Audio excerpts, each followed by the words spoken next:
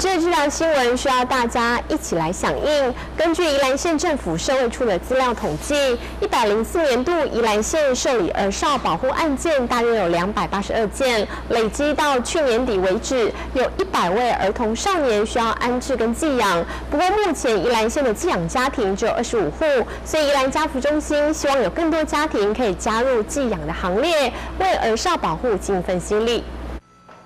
因遭受遗弃或家庭变故而需要被安置的儿少，除了安置机构之外，寄养家庭扮演替代性的家庭角色，给孩子们爱与关怀。宜兰县目前共计有二十五户寄养家庭。今天由县长夫人林素云颁发证书，寄养父母也和大家分享心路历程。那我们的黄素章女士当我们的寄养家庭十八年，呃，小朋友都成年了十八年，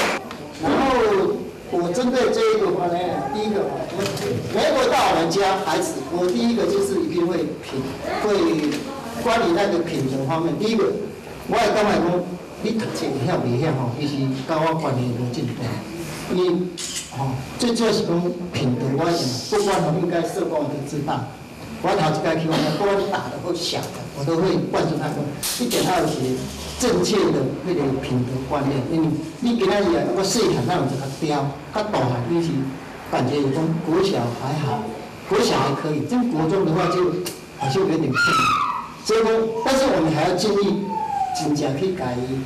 灌输你这个观念。马上要把一个家庭开放给一个我们不熟悉的孩子，甚至可能带着伤痛的孩子，要进到我们的家庭里面来，我们要帮他疗伤。要帮他重新建构一个对人的相信、对世界或对对人的爱，我觉得这真是一个非常难的事情。可是，在每一次跟你们的互动过程当中，都看到每一个孩子都因为有你们的照顾而改变了他们可能对人的相信，可能改变了他们对原本世界的愤怒，有可能。那我觉得这样的一个包容，这样的一个接纳，真的不太容易。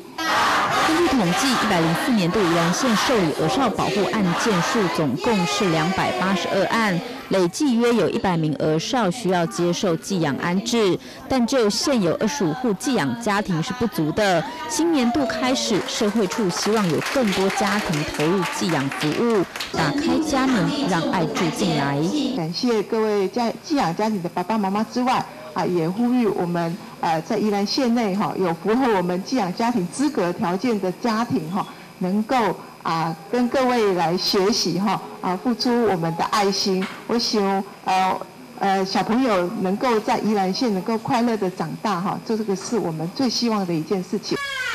寄养家庭凡年满二十五岁到六十五岁间，具国中以上教育程度就可以报名。资格审核通过成为寄养家庭，还要接受儿少亲子照顾等课程训练，而社工也会定期进行实地访视，给寄养家庭需要的辅导与协助。宜兰县记者黄竹汉曾报道。